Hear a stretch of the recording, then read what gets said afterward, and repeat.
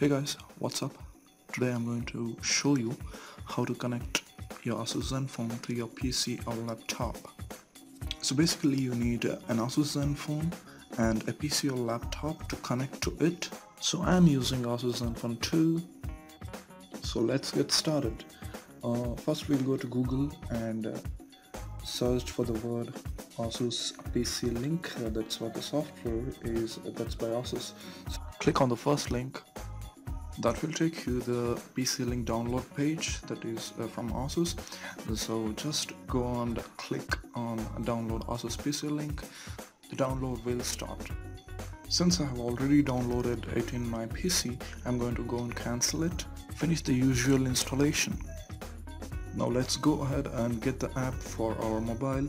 So here I'm in Google Play Store can directly download it uh, in your mobile. So let's go ahead and search for asus pc link. There you have. So there you have. Uh, go ahead and install the app in your mobile. I'm just gonna click it. So since i have already installed it in my mobile it's showing installed. Once the installation is over just go ahead and start the app for the first time. You will get a screen saying waiting for USB connection. So connect your phone to the PC or laptop using the USB cable provided with your Zenfone once it get connected just go and start again. So you will see this page which says that get started. Uh, go ahead and click it if you click that uh, get started you will be given a link to download the software for the PC which we already did. Now you can start uh, the PC link in your laptop.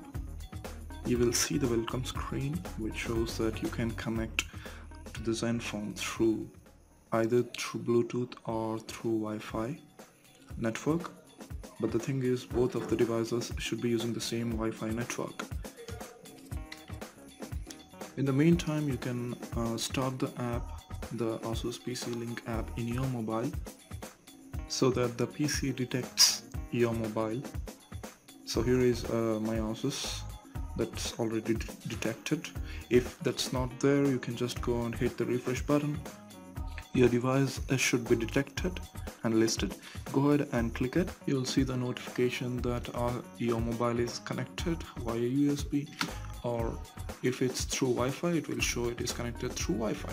Now you will get a big screen of your Asus mobile.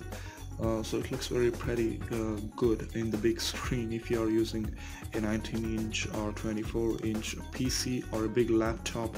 It's really cool if you are using a touchscreen laptop or a PC, it's awesome the experience you will get. You can control everything through your phone itself. It looks uh, pretty good and controlling in your hand. Also you can play videos in the big screen when in the landscape mode and if you can you can also increase the screen size to the full screen mode and view the entire video in the full screen. It's awesome.